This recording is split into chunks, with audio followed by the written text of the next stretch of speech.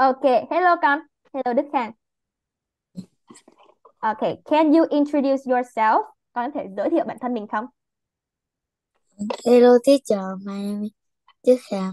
My name is nine years old. Where do you live? I live in? Nội. Yes, very good. So how do you feel today? How do you feel? Em. Ok, you're fine. Rồi, bây giờ mình sẽ đến với phần đầu tiên của ngày hôm nay con ha. Bây giờ con Dạ. sẽ kể lại câu chuyện Evil English Teacher từ 5 đến 6 câu thôi ha. Rồi, ok, go. Con sẽ kể lại câu chuyện Evil English Teacher nào. Câu nào cũng được con. Năm câu à? Ừ, Ừ con. Câu nào cũng được. Không cần theo thứ tự con. Câu nào cũng được. The the girl is nervous. She, she said, I don't know. The evil teacher is angry. He hit the girl on the hand. Yes. The boys at the girl's cry. Yes, very good. Okay. Um, very good con. Rồi ok, mình sẽ đến với phần tiếp theo luôn con ha. Bây giờ sẽ đến phần phản à, trả lời câu hỏi của cô như bình thường mọi ngày thôi ha. Rồi ok. Đức Khang, are you ready? Yes. Yes, very good. Luffy jumps on his motorcycle. Ooh. Does Luffy jump on his bicycle?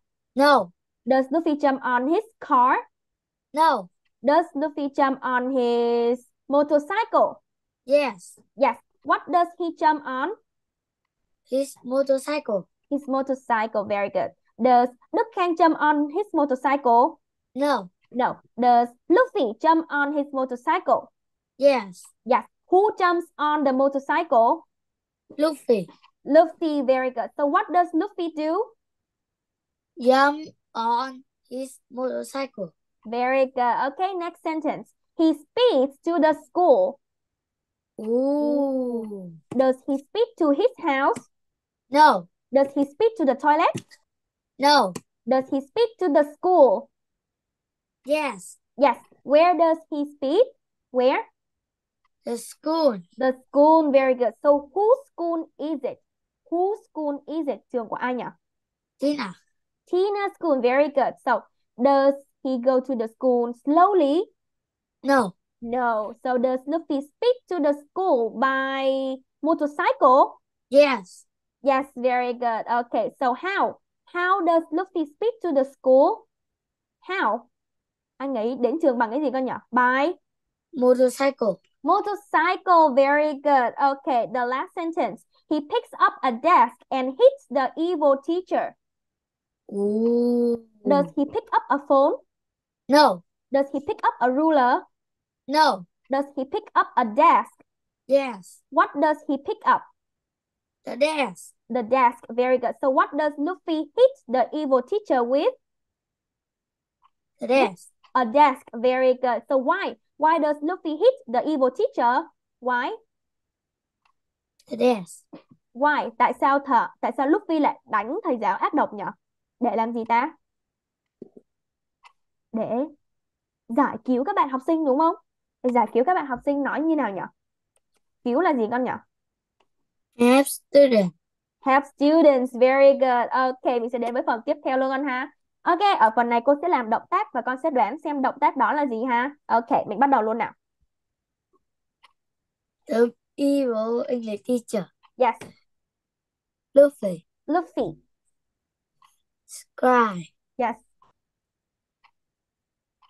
Miserable. miserable. Ừm, Hit. It's very good. Ok, mình sẽ đến với phần cuối cùng của ngày hôm nay luôn ha. À, um, đợi cô một chút. Ok, bây giờ con sẽ đọc bài này ha. Con sẽ chỉ cần đọc đến đây thôi. Rồi ok, go. Đọc đi con. Tina whispered. This is Tina. Help us, Luffy. An evil teacher beating us. Luffy said, Okay, don't worry. I be right there. Luffy jumped on his motorcycle. He speed to the school. Luffy run through the front door and burst into the class.